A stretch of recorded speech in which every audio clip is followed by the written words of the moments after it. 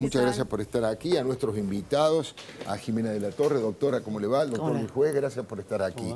Y quería arrancar preguntándole, los dos tienen, tienen mucho que ver con esto, obviamente eh, consejera de la magistratura, y además tuviste, eh, si no me equivoco, fuiste segunda eh, en la AFIP durante el gobierno de Mauricio Macri. Arranco por esto, de todas estas cosas que han pasado, ¿qué es lo que más te llama la atención? ¿Qué es lo que consideras más grave, Jimena?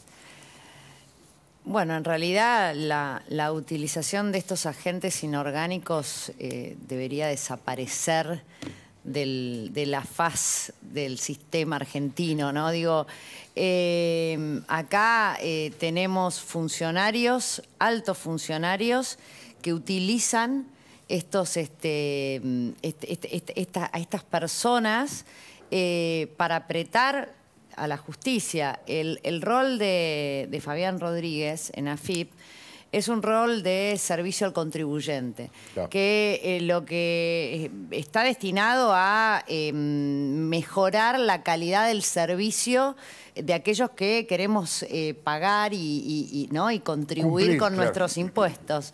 tiene que conocer muy bien las agencias, las direcciones regionales, el funcionamiento. Esta persona claramente no era una persona de carrera, fue alguien que lo trajeron en un cargo político eh, él directamente acceso a, información secreta no puede, por el rol que tiene, no debería haber tenido acceso. Eh, eso no quita que obviamente dentro de la FIP eh, tal vez haya podido este, mover algún hilo para obtenerla. ¿no? entonces acá tenés secreto fiscal por un lado, normas de inteligencia por el otro, o sea, tenemos un, menú de delitos violados este, inmenso. ¿Y para qué? ¿no? Para iniciar un juicio político a la Corte, un juicio político que ya nació viciado justamente a partir de toda esta inteligencia ilegal. Eh, y la verdad es que ya a esta altura creo que, es fundamental eh, que el próximo presidente de la Nación se replantee en serio eh, esta cuestión. o eliminamos la AFI, o, la reencauzamos a lo que es un organismo de estas características en el mundo, que está destinado a eh, controlar eh, cualquier amenaza externa para la seguridad nacional. Y siempre el, enfoque es hacia afuera. Terrorismo, narcotráfico, eh, crimen organizado, pero siempre protegiéndonos de las amenazas externas, no espiando a los, a los propios a los ajenos, a, ver qué carpetazo le puedo y con qué. ¿no? El, video de Cristina diciendo hay que apretar a los jueces, eh, al día de hoy eh, nos tiene que, que poner los pelos de punta, ¿no? Sin duda, sin duda. En el caso del doctor Luis Juez ha sido uno de los involucrados, no sé si lo vio, supongo que sí, o alguien se lo habrá comentado, pero lo vamos a compartir con los oyentes, este, porque se refieren a Luis Juez en este, en este intercambio de información. Ahí está, poquito complicado para verlo, por supuesto, eh, pero bueno, habla y donde dice que eh, Luis Juez es amigo de Mañeto y de Zaguier, ¿eh? los dos... Este, eh, digamos, número uno del grupo Clarín, ahí está, y del grupo La Nación. ¿Qué dice, juez? ¿Qué dice de esto? Yo estoy habituado a que me despidan, me encanta.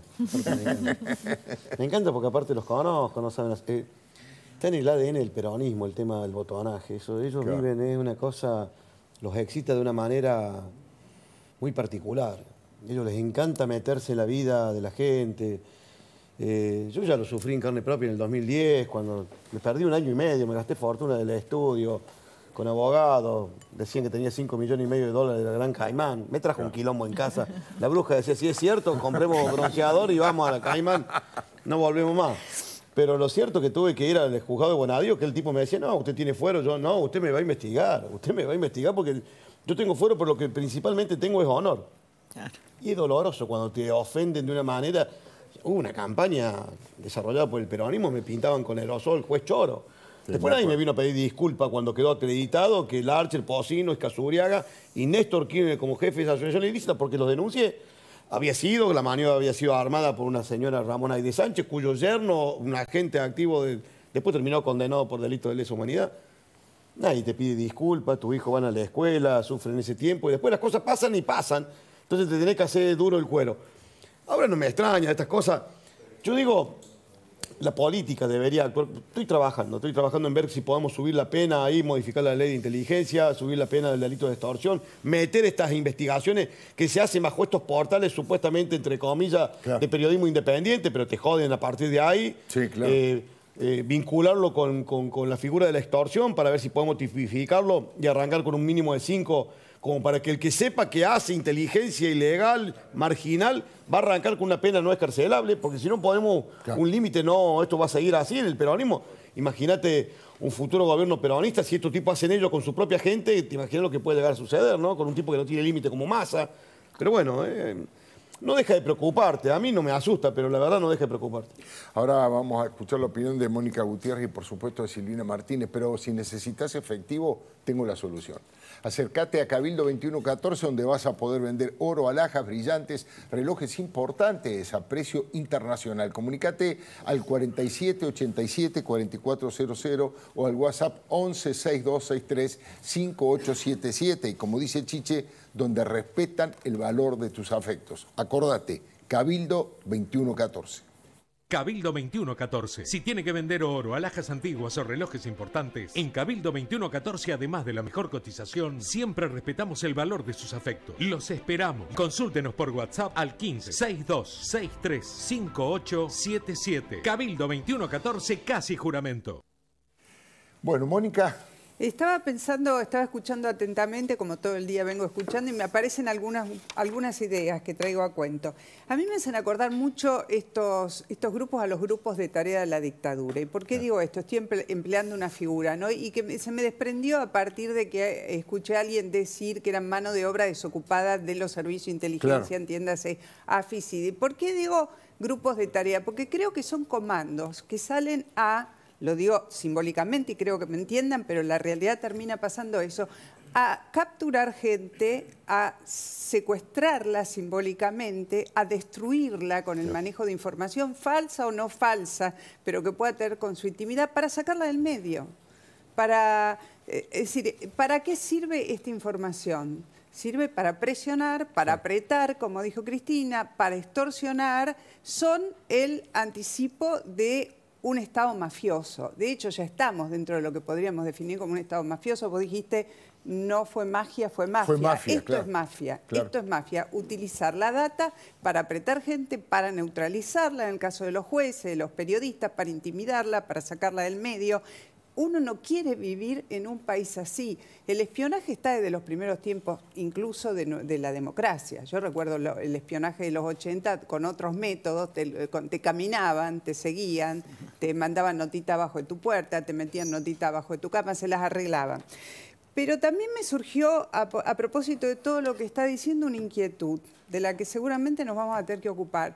Cuando toda esta masa de información de la vida privada de un montón de gente llega a, la justicia, se la abran, abran los pendrive, las computadoras, tengan todas las carpetas. ¿Quién va a custodiar esa información?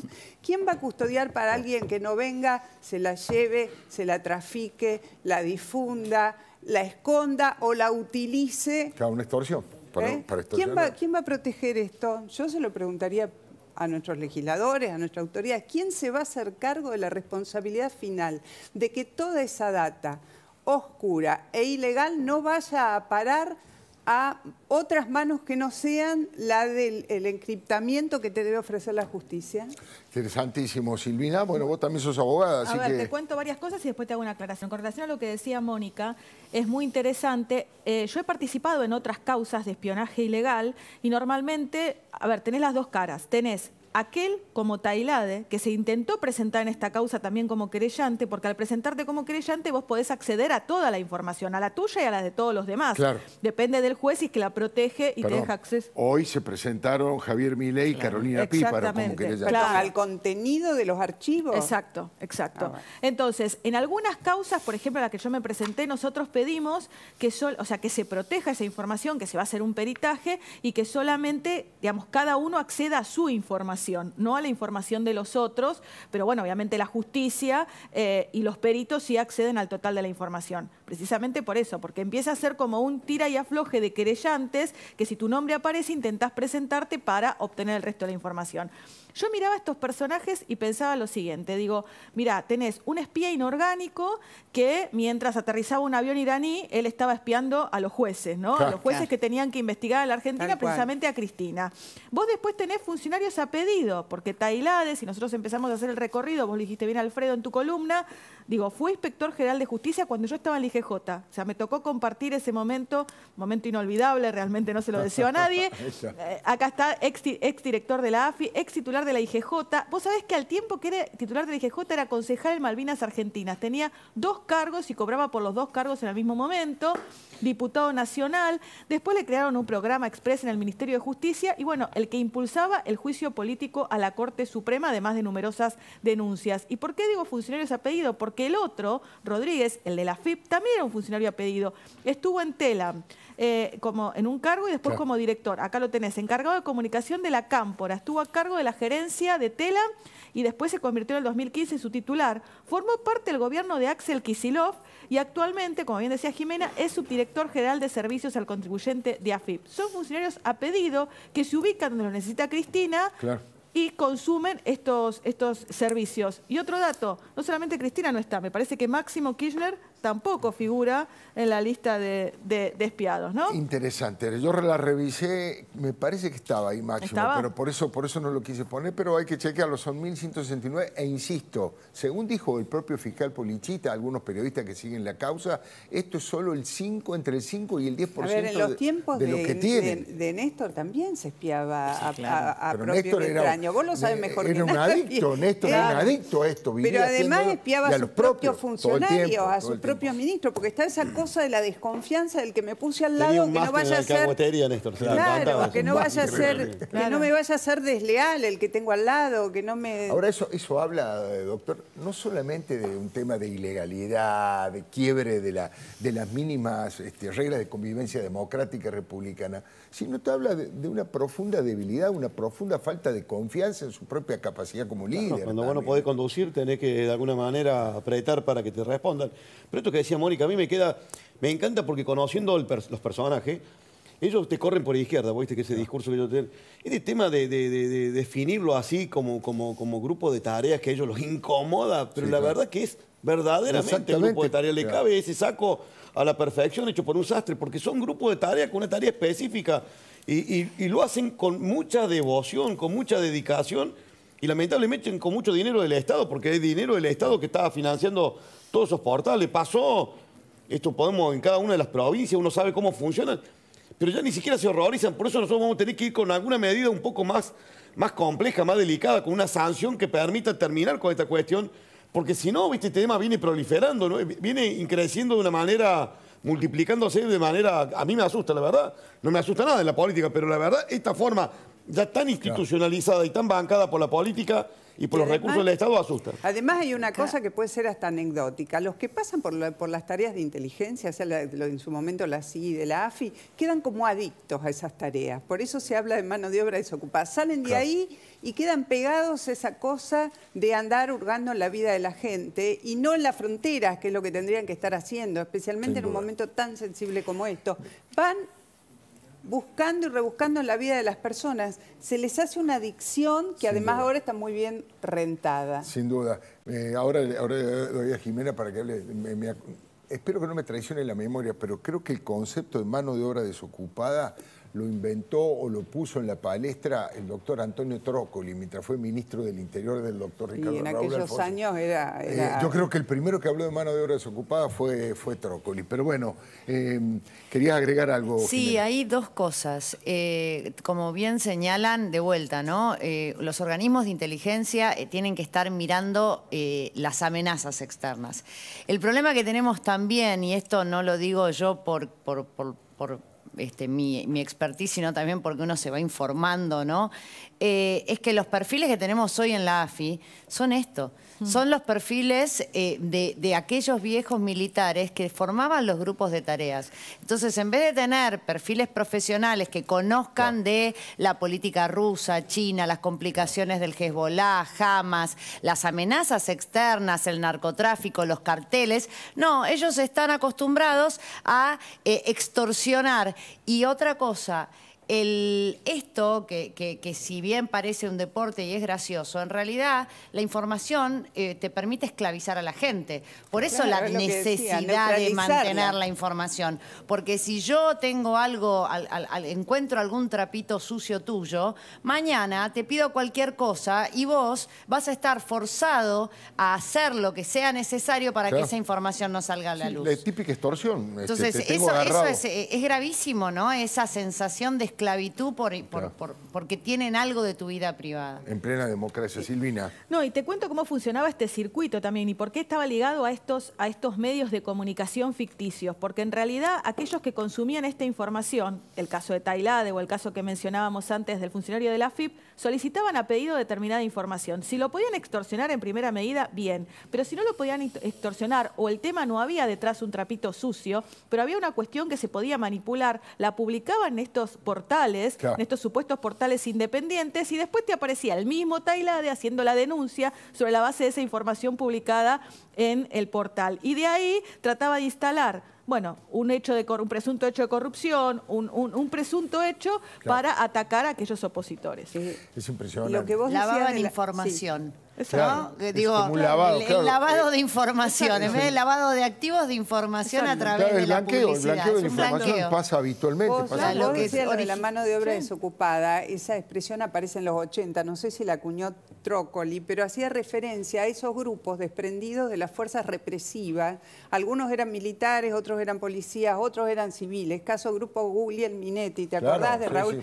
que una vez que se quedaron sin el laburo de la dictadura, salían a secuestrar gente con fines extorsivos y, o, a, asaltarla o a matarla. Y recordar los casos que hubo en los 80, principios de los 90, de grupos de policía y de comisarios que secuestraban empresarios, tres o cuatro de los cuales fueron asesinados. Entre ellos Mauricio Macri. Entre ellos Macri, entre ellos Sivac, entre ellos Naum. Naum, me acuerdo absolutamente. ¿Te acordás? Quería comentarles un tema que... Este, no por una cuestión de machismo, pero el doctor juez y yo tenemos más autoridad para hablar, me parece, porque vamos a hablar del cuartetazo. Yo te, mirá, te lo vamos a hablar del cuarteto. Les, cuento de qué se trata. Las mujeres bailamos cuarteto. las mujeres bailan. No, es increíble, la verdad que es increíble. Me resulta de una caradurez de parte de Sergio Massa querer ganar un voto en Córdoba diciendo que él baila cuarteto en su casa. Se cree que son indígenas, que son comechingones los cordobeses todavía, que son indios, que este, si a vos bailás cuarteto te vamos a votar, Sergio Massa. Es realmente increíble, pero no se le cayó la cara de vergüenza y lo dijo de esta manera. Hoy vengo de estar con gente del mundo del cuarteto, ¿no? Digamos, Milei dijo que el cuarteto era una mierda. Yo bailo cuarteto en mi casa. Esos son los dos países que están en juego. ¿eh? Bueno, hay ah, tres cosas por lo menos, pero ahora quiero escuchar su opinión, que usted también tiene mucho para decir. No, yo decía, le decían hoy a algunos colegas tuyos cordobeses que el cuarteto de masa es él, Alberto, Cristina y Máximo. Son los simuladores. La verdad que a nosotros los cordobeses no... La verdad que creo que cayó muy mal en Córdoba, te lo digo. Yo estuve... Yo llegué esta tarde a Córdoba, acá a Buenos Aires Cayó muy mal porque suena muy impostado. Bueno, más es muy impostado, ¿viste? Un hábil declarante, un... Y como estás ahí, claro. Estás ahí, claro, pero sobreactúa, sobreactúa Esa sobreactuación, la verdad que Córdoba, no, nosotros necesitábamos que el tipo nos vaya a elogiar el cuarteto, la verdad tenemos problemas, queremos cosas, tenemos virtudes, pero cayó muy mal, cayó como una, como una cosa, como un acto de aprovechamiento innecesario, aparte una pelea estúpida, la verdad que pero bueno, esto es más, además es un tipo que es capaz de mentirte hasta en una boludez tan chiquita como ese tema, ¿no? Porque quiere generar empatía es peligrosísimo, lo digo con todo respeto. Claro, es, la hiperdemagogia. Yo le digo y los tipos me miran como estoy exagerando, los conozco a todos, yo tengo 60 años, hace 40 que hago política y del peronismo los conozco a todos. Nunca vi un personaje tan siniestro como Massa, porque no tiene límite. Todos tenemos un poco de, te pone colorado, tiene un poco de límite, esto no me pida porque yo no lo hago lo que vos le pidas, el tipo te redobla la apuesta. Entonces es un tipo que permanentemente no sabe a dónde va a llegar. Te lo digo, también me hago cargo que en 40 años de democracia tenemos que elegir entre Frankenstein y Drácula. Algunas cosas mal hemos hecho estos 40 años, claramente mucho ¿no? Pero, pero es un tipo, lo digo con poder, masa es peligrosísimo.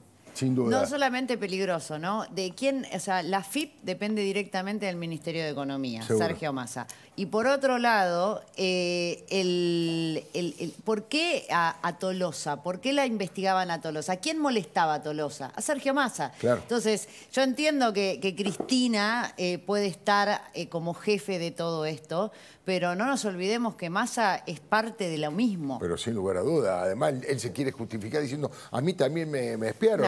Pero bueno, si te espiaron, nunca más te junté con esa gente que son delincuentes. Ahora sos el jefe de todo Hay un clima de espionaje ahí en todo ese, ese mundo, ese planeta. Sin duda. Ahora vamos, ahora vamos a, hablar un poquito de la política y las elecciones, este, entre Frankenstein y Drácula, bueno, aquí va a votar cada uno. Pero... Em, Javier Milei se vio obligado a salir a contestarle a eso y también le contestó en el mismo nivel diciendo, primero, que era una mentira, lo desafiaba a que publicara, que mostrara, ahí está en su, en su, este, en su tweet, ahora llamado X, diciéndole, eso es un mentiroso, demostrame en dónde yo dije eso. Y, redobla la apuesta, se mete en esa batalla y dice, eh, cuando estamos haciendo viajes, cuando estamos haciendo las recorridas electorales, vamos escuchando a, Rodrigo. es cierto que en uno de los actos que hizo en Córdoba ley, en un momento salió con Rodrigo. No le va a poner Chopin, ¿quién le va a poner No va a poner Chopin en un acto político en, Córdoba. Pero digo, además, y acá, acá ya me parece que hay un tema un poquito más profundo. Está dispuesto a mentir, es siniestro, como dice el juez, es capaz de hacer cualquier cosa por un voto, sobreactúa, miente, eh, está bien. Ahora, además, le quiere dar un contenido sociopolítico porque dice, son la representación de dos países. ¿Cuáles son los dos países? Aquellos que les gusta el cuarteto y aquellos que no les gusta el cuarteto. Es verdad que hay dos países, pero hay una grieta moral. De un lado están los delincuentes, los chorros, el kirchnerismo, y del otro lado una sociedad democrática republicana que trata de encontrar algún tipo de liderazgo más o menos sensato para ponerle freno este, a una nueva etapa del kirchnerismo. Pero quiero ir al tema de los votos. Usted ha dicho que vota a Javier Milei, que no es lo que más le gusta, pero que... Nosotros hemos llegado a esta circunstancia... Nosotros elegimos en la paso y en la primera vuelta. Ahora tenemos que optar entre dos opciones que no es la propia. Nosotros nos faltó capacidad para entender el proceso, para ser parte del proceso y para jugar la final.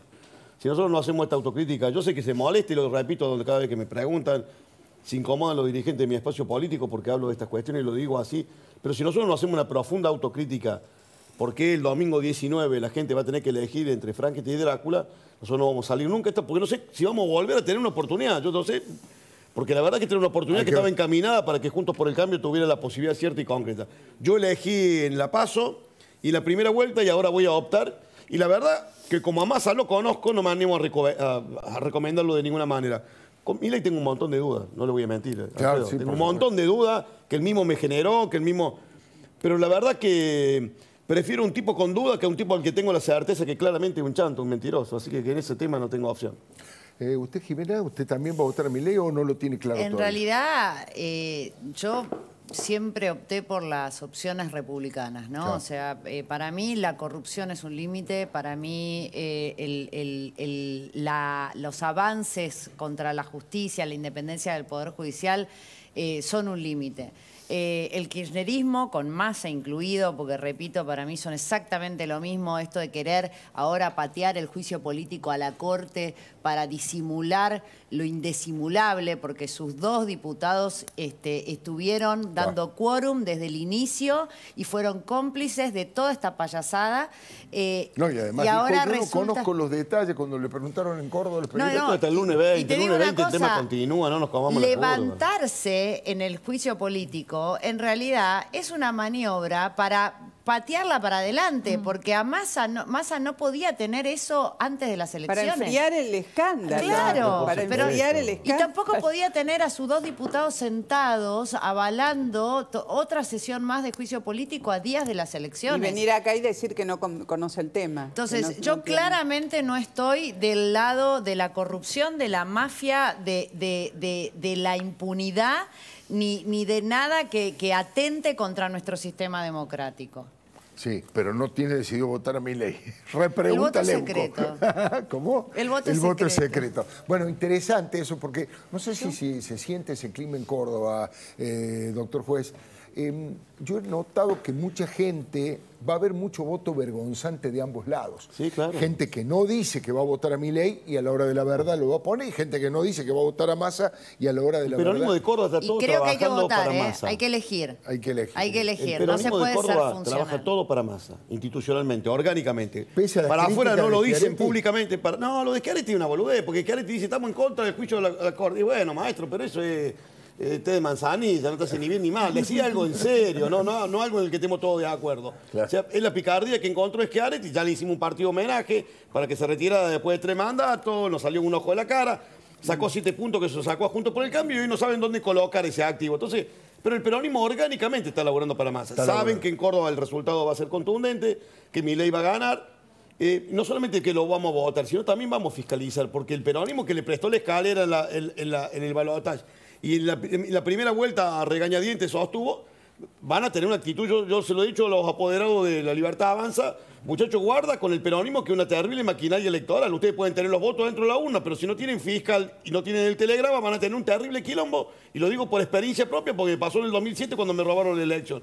Si vos no tenés un fiscal con el telegrama que acredite lo que está dentro de la urna, esa urna puede tener los votos, pero no sabemos nunca qué va a pasar allá adentro. Entonces, digo, vamos a fiscalizar porque también es un acto cívico. Sé que el peronismo, donde no haya fiscales, claramente no va a haber votos y va a ser complicado. Ahora, pregunto, eh, ¿en Córdoba los radicales también están dispuestos a fiscalizar o también toman distancia? No, no, han- Porque digo, Juntos por el Cambio, tu partido sí, actitud- pero ¿están, están eh, activos para ayudar a, a que pierda No, creo que no. No. No, no, no, creo que no. Que no, no, que- o sea, en Córdoba nosotros hemos decidido, por encima de cualquier discusión, de cualquier diferencia, Juntos por el Cambio se mantiene absolutamente, eh, nos costó horrores construir la unidad de Juntos por el Cambio, no sé qué hará en otro, en otro distrito. En Córdoba nosotros mantenemos esa unidad a rajatabla. Hay libertad, sé que hay algunos dirigentes que, que- que no, que no tributan como Morales, que claramente está trabajando para masa, hay radicales que dicen, bueno, nosotros vamos, vamos a tenernos, vamos a plantear, llegado el momento del cuarto oscuro, no están activos, y hay otros que sí están laburando claramente por instrucción precisa del presidente de la Unión Cívica Radical a nivel nacional, están trabajando para, para, para masa. Sí, bueno, Morales. ¿A qué- a Morales qué- lo dijo con todas las letras. ¿De qué manera cree que se puede transformar Juntos por el Cambio? ¿De qué manera puede este, mutar frente a, la- a cualquiera de los dos resultados electorales? Porque ya la, la- la bomba de fragmentación ya cayó en, en Juntos por el Cambio y ya la, han quedado en evidencia, han quedado, digamos, fracturas expuestas. El tema es que ninguno de los dos resultados sí le puede traer problema a la fuerza que pierda. Si la libertad avanza, pierde, va a haber una especie de terremoto y si pierde el peronismo, ni le cuento. Pero Juntos por el Cambio, ¿de qué manera se podría estructurar? ¿O ya es inevitable que haya como dos polos, uno más desarrollista, socialdemócrata y uno más liberal? Yo creo que Juntos por el Cambio no se va a separar. Eh, y la garantía de esa no separación son los gobernadores, los intendentes, las fuerzas realmente eh, en el Ejecutivo y, en los bloques en el Congreso. Juntos por el Cambio no se va a disolver ni se va a separar. Eh, se, van a, se van a correr los perdedores y van a tener que correrse los perdedores. Y Morales es un per- franco perdedor.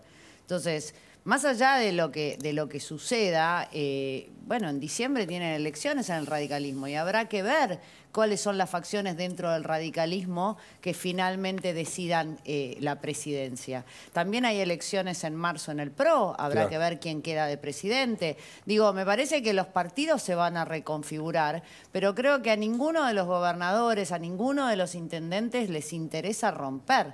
No creo que sea, que sea ese el camino. No, esa puede ser una base de reconstrucción, ¿no es cierto? Los nuevos pilares son los que ratificaron en las urnas eh, su representatividad, empezando por los gobernadores que ganaron, los intendentes que ganaron, fueron apoyados por su pueblo y ellos tienen legitimidad como para construir una nueva... Exacto. Una Pero si no hacemos una profunda autocrítica, ¿por qué nos Claro, quedamos ¿por qué afuera? no?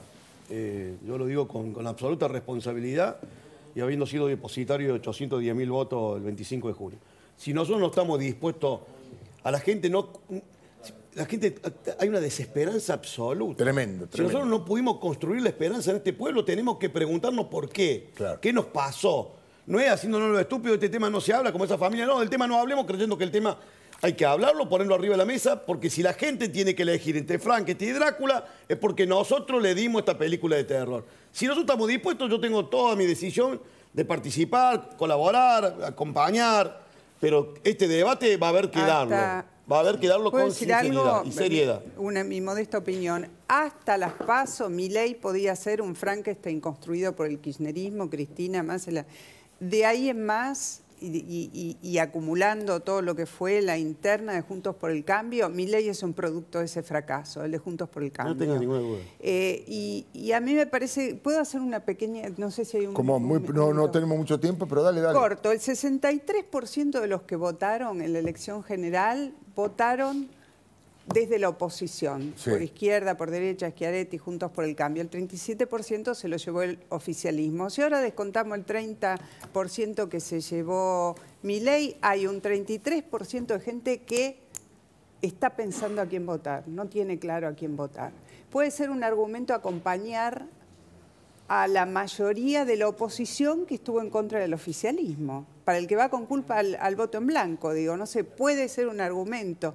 Creo que todavía quedan unos cuantos días para pensarse el voto y creo que mucha gente eh, lo va a decidir adentro de la- del cuarto oscuro. Nos queda muy poquito. Yo quería agregar algo. Me parece que la profunda autocrítica que dice el doctor Juez es fundamental, es necesaria. No se puede reconstruir nada sobre la base de tirar la basura abajo de la alfombra.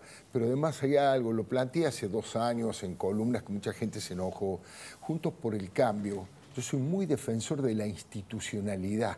Juntos por el cambio no se institucionalizó nunca. Tanto el Frente Amplio en Uruguay por centro izquierda como la convergencia este, en, en Chile tienen un manual así grandote, institucionalizado, con un parlamento a nivel nacional, con una dirección, con direcciones regionales en cada una de las provincias, con tribunal de disciplina, eh, donde se resuelven antes de que ocurran cosas que habitualmente ocurren. Se muere un diputado, se va a otro partido, ¿quién sube? Eh, ¿La mujer o el hombre? ¿De qué partido tiene que ser el que así? Miles, miles de discusiones ya están resueltas en un manual de convivencia y en una institucionalización de una coalición debe institucionalizarse. ¿eh? Debe tener la posibilidad de resolver sus conflictos de antemano. Después habrá algún conflicto ideológico hacia dónde vamos, cuál es el modelo económico que vamos a construir. Pero en su momento se subestimó mucho el tema de institucionalizar había que trabajar, ¿eh? Hay que, había que laburar, había que poner el hombro, porque esto es recorrer el país, construir este, juntos por el cambio, hasta en el pueblito más chico. Mira, hasta hace poco, hasta hace poco en algunas ciudades grandes no había ni un local del PRO, ni un local del PRO. Cuando la política se hace con la gente, con mejores partidos políticos y renovándolo, fue demasiado superestructura, demasiado estudio de televisión y demasiado Twitter y poca vinculación con la gente. Una, una de las cosas que seguramente habrá que, habrá que estudiarla. ¿no? Bueno, nosotros, este, según los tiempos que me están marcando, tengo que agradecerle, juez, que haya venido, No, muy, a- muy amable. Eh, una recomendación para Massa, si quiere sacarle más voto a Córdoba, se puede poner una camiseta que dé